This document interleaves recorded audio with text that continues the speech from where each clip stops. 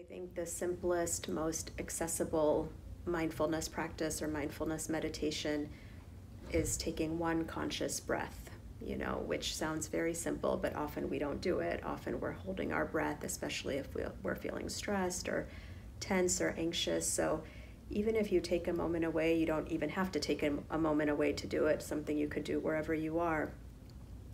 And pay attention simply to the sensation of inhaling and the sensation of exhaling.